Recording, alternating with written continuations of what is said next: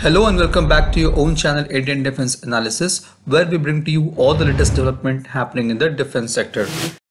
After the initial radio silence over the Agni 5 missile test, now more details are being released regarding the test conducted on 15th of December 2022. The Agni 5 was test fired in its full operational configuration for its entire range. The missile incorporated some of the new technologies which makes it lighter as well as enables it to achieve larger range. As per the reports from ANI, India has now developed the capability to strike beyond 7000 kilometers.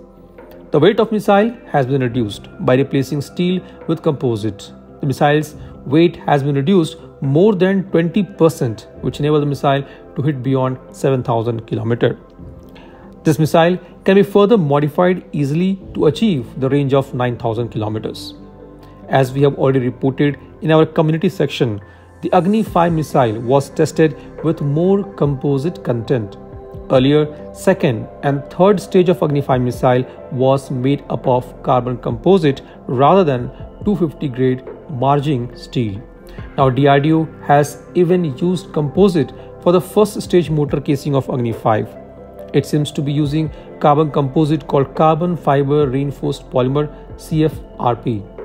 The composite presents good strength and stiffness, relatively low density, high damping ability, good dimensional stability, and good corrosion resistance.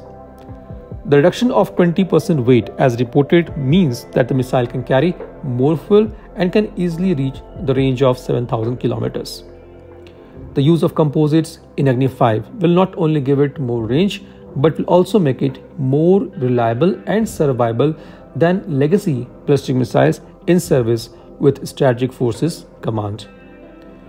The another feature of Agni 5 missile is SOC, that is System on Chip Based Onboard Computer, which weighs just 200 grams and has 6 to 7 times greater processing capability than the earlier versions, which was based on printed circuit board. If you are from electronics or computer engineering branch, I'm pretty sure you would know about the printed circuit board. The older PCB based system weighs close to 5 kg. The SOC integrates the entire guidance of Agni 5 missile and weighs just 200 grams. The missile uses a combination of ring laser gyro inertial navigation system and a micro inertial navigation system for guidance. For the first time, a redundant micro navigation system was used in Agni 5. This guidance, along with its control system, gives the missile double digit accuracy of less than 30 meters CEP.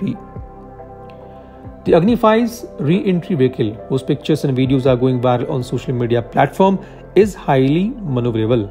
All three stages of Agni 5 have flex nozzle control system, which enhances the maneuverability during the flight. Even if the re-entry vehicle changes its angle by a degree, it will make its interception very difficult at hypersonic speed by Chinese anti-ballistic missile defense system.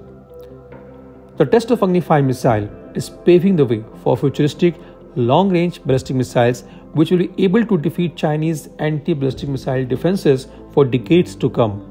It is expected that 12,000 km range Agni 6 will be tested sometime in 2025 even though government remain tight-lipped on its development.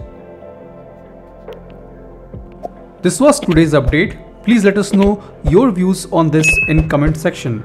If you like the video, do not forget to like, share and subscribe. With this, I would like to say goodbye and Jai Hind. We'll soon back with more interesting and amazing development happening in the defense sector.